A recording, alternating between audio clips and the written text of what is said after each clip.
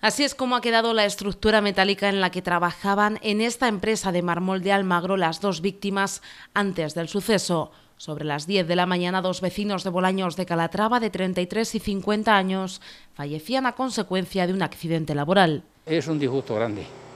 Otra gente joven.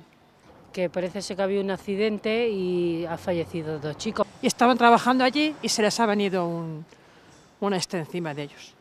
El origen del accidente podría estar relacionado con un fallo en la cesta que sostenía a los dos trabajadores que caían de una altura de 12 metros.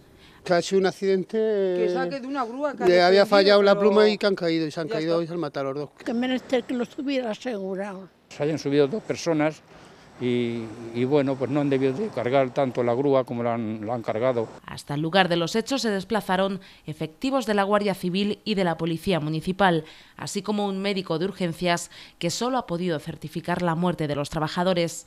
Yo estaba en urgencias y se han marchado y esperando para que me atendieran y no.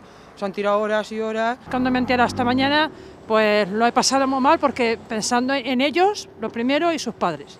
Para mañana viernes, tanto comisiones obreras como UGT han convocado una concentración en Ciudad Real en memoria de estos dos trabajadores fallecidos en el primer siniestro del año.